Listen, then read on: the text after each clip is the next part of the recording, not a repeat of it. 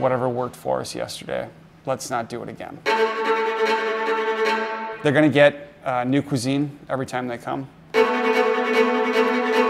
It's just a matter of what do we feel like cooking today. But I want to do something new here. I could really feel a shift in the way people were eating food. The best business plan for us and for creating something new for West Bend was to go with small plates that people could share, people could talk about things, they could try new flavors, and it was a faster way to get food. Our menu changes daily. We try to focus on using seasonal flavors as well as we have a lot of farmers in the area we work with. I think it makes our food better.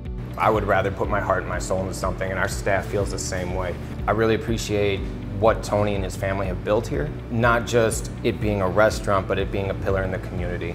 This community has so much going for it. So we have a beautiful river out back, and they're doing a lot to remodel that. I, I just think this community has a lot of potential and there's a lot of great people here.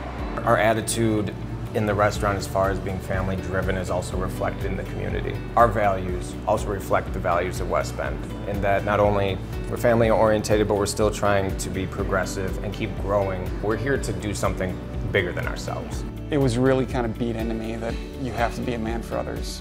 You've got to give back and the people who support you, you need to support them.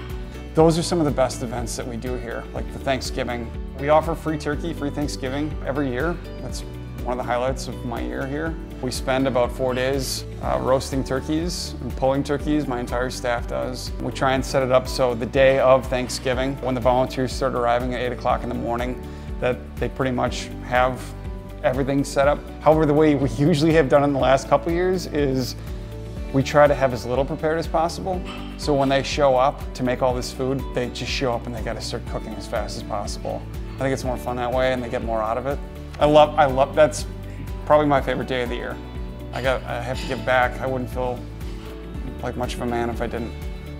On behalf of the City of West Bend, congratulations to the Norbert for being the November Business of the Month.